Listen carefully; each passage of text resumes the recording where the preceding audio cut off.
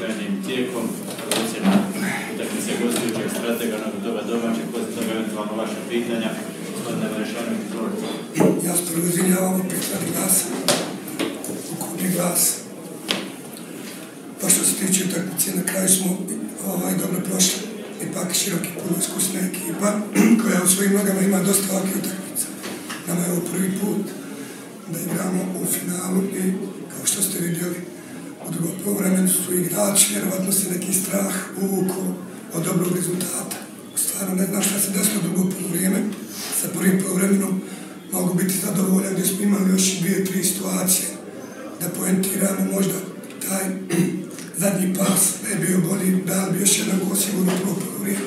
Drugo polovrijeme jako slabo, jako slabo gdje nas se široki nadigrao, gdje nije realizirao penal, gdje su imali još par prilika i mislim da je za nas na kraju ipak ovo dobar rezultat s obzirom kako smo igrali drugo polovrijeme. Hvalim se ekip širokog na, na korektnoj igri, na dočeku i puno sreće u nastavku prvenstva. Hvala gospodinu Marešanoviću. Gospodine Slišković, slažete li se i vi sa ocjenom kolege od dva različita polovremena? Ma skoro pa u potpunosti ono što sam ja želio reći, rekao je moj kolega. Tako da nešto posebno ne bih dodao. Nikad ne tražim alibi za bilo koji pod navodnicima loši rezultat, iako jedan jedan protiv Olimpika, a s obzirom da imamo revanš, nije loš rezultat. Jeste to nas malo, rekao bi, poremetilo što smo veoma rano primili zgoditak i sigurno da je Olimpik to u prvom polovremenu maksimalno kvalitetno iskoristio, kao što je rekao Mirza, imali su dvije, tri izgledne prilike, odnosno pozicije za izgledne prilike nisu iskoristili, dok je drugo polovreme u potpunosti pripalo široko, pa prečka, pa dvije, tri čiste prilike, pa promašen mesterac. I sve u svemu, kad vam sportska, rećemo, sreća okrene leđa, vi morate biti zadovoljni sa 1-1. Iako po ovim prilikama, po svemu onome što smo pružili u drugom polovremenu, mislim da smo zaslužili bar jedan gol prednosti otići u Sarajevo. Nismo to ostvarili. Ostaje još 40, odnosno 90 minuta igre i mi ćemo pokušati, kao što je to Olimpiku radio ovdje, da postignemo zgodita kako bi njima otežali posao. Na kraju krajeva mislim da ovaj rezultat otvara i nama, a i Olimpiku mogućnosti za osvajanje ovoga kupa. Što je uzročilo dva potpuno različita vremena kada je u pitanju igra širokog, je li samo riječ o tom rano primjeno zgoditku ili ima još nekih drugih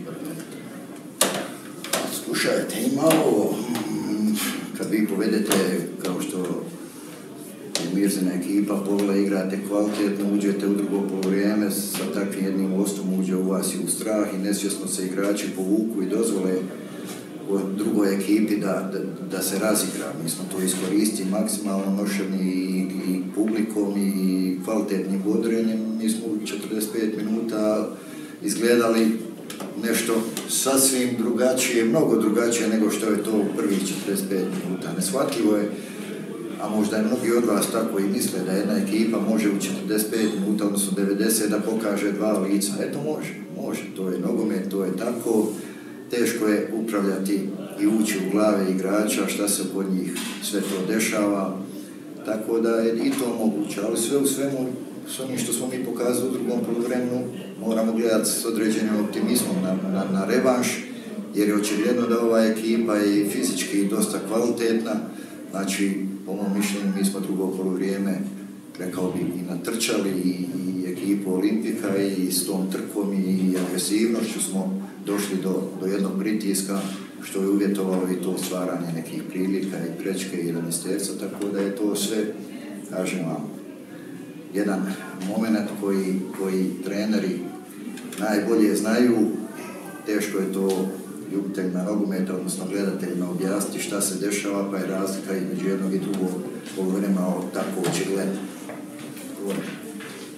Hvala gospodinu Sliškoviću, gospodine Marišanović, gospodin Slišković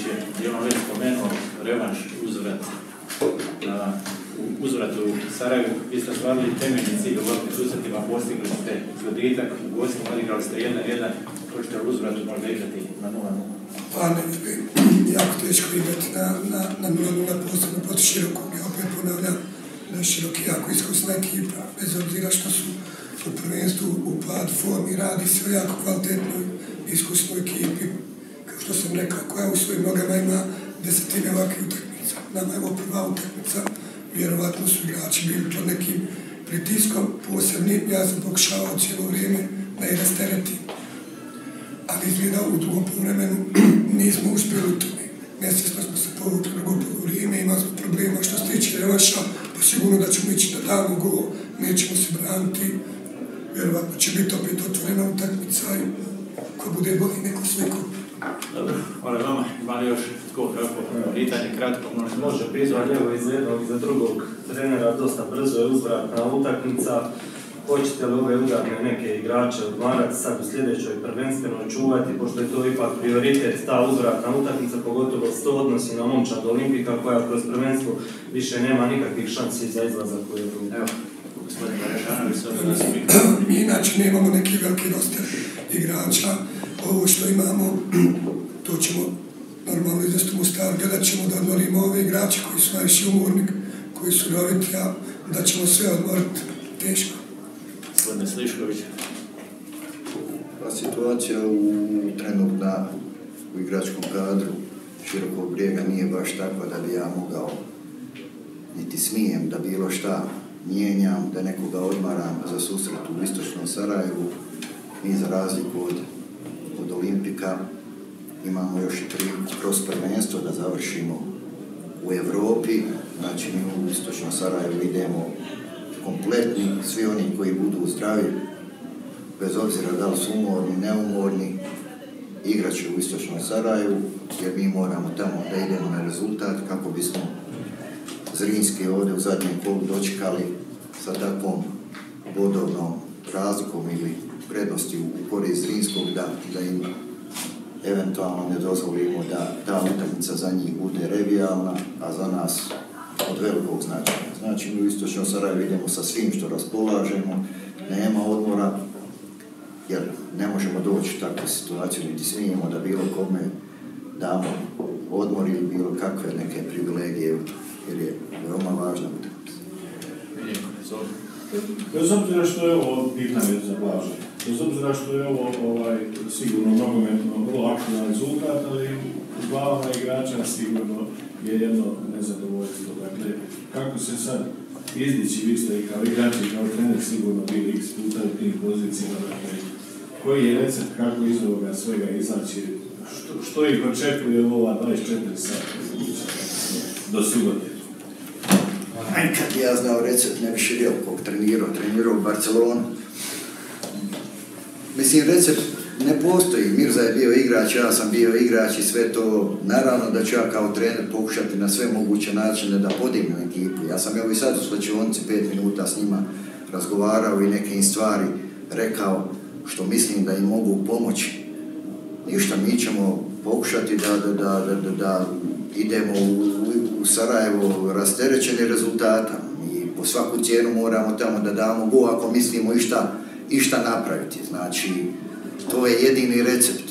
Otići igrati otvoreno, rasterećeno, nema, neće biti pritiska navijača, ipak oni osjećaju određeni pritisak kada igraju ovdje kao, kao domaćini. Vjerujem da, da ćemo, ako ništa, ponoviti kvalitetnu igru iz drugog poluvremena i na taj način, kažem vam, otežati posao Olimpiku, jer ipak 1-1 u određenom smislu predstavlja prednost u revanšu za domaćinu.